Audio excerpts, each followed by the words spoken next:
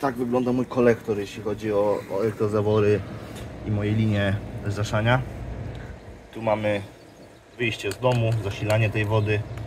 Jest yy, trójnik, kolanko. Mamy 6 elektrozaworów. I mamy te cewki tutaj na górze. Z nich wychodzą te dwa, dwa kable. Bez względu na to, który wybierzecie, żeby je połączyć tak jak na, na schemacie, bo to nie ma znaczenia, czy podłączycie jakby jeden do, do tego zmoskowanego, czy drugi tam do, do modułu przekaźników, to nie ma żadnego znaczenia. Bo to, to one są zasilane na napięcie, y, na prąd zmienny.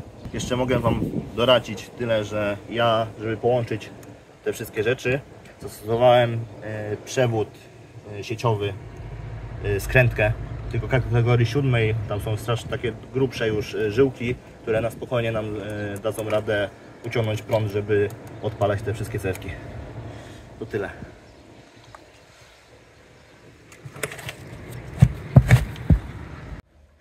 Właśnie tak wygląda moja szafa od sterownika aktualnie w użyciu. Tak to właśnie wygląda.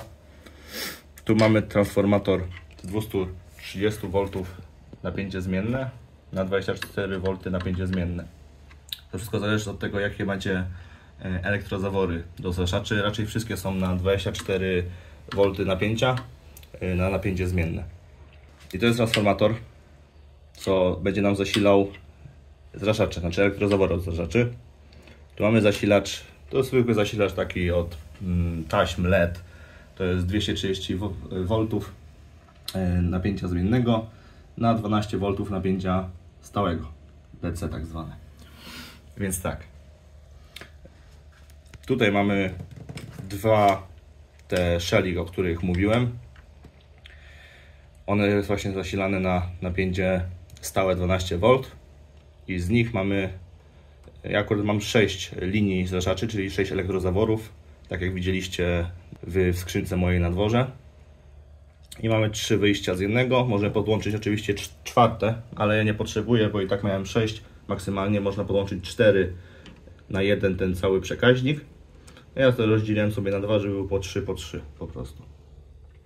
Tu niżej mamy moduł przekaźników.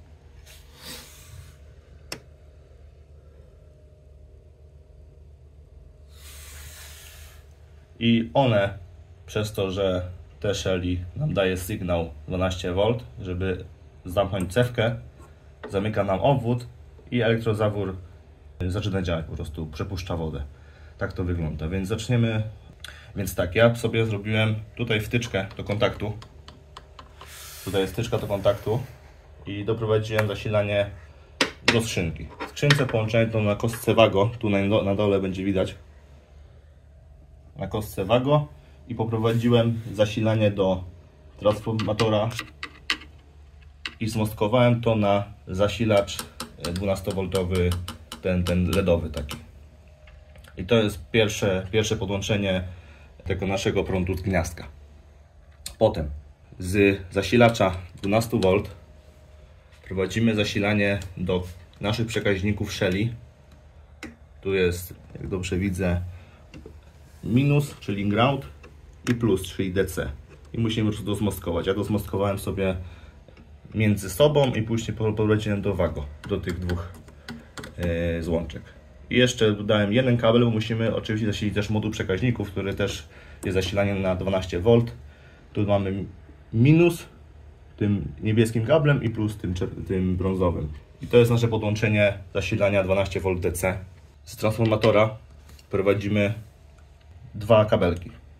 Jeden łączy nam się z każdą jedną, z każdym jednym przewodem z elektrozaworami, które mamy zmoskowane tutaj na tej złączce. Czy będzie to jed, jeden czy drugi kabel, to nie ma znaczenia, ponieważ elektrozawory są zasilane, zasilane na prąd y, zmienny. Więc czy weźmiemy jeden czy drugi, to nie ma znaczenia. Po prostu jedne muszą być wszystkie połączone w jedność i doprowadzone tutaj do jednego wyjścia z transformatora, bez względu czy to będzie lewe czy prawe, to nie ma znaczenia. A drugi, e, drugi przewód z transformatora, z wyjścia, powinien nam iść na, na przełącza COM, czyli te środkowe od, każ od, każdej cewki tego, tych przekaźników. Ja je smoskowałem po prostu jednym do drugiego, jednym do drugiego. Będziecie widzieli to na schemacie. I każdy elektro, z elektrozaworu, jeden przewód, ten, który nam został, który nie został podłączony tutaj, musimy podłączyć do złącza NO, czyli w momencie, gdy te Shelly da nam napięcie na przykład na ten pierwszy kanał, on zamknie cewkę i jakby przycisk się włączy, można to tak nazwać.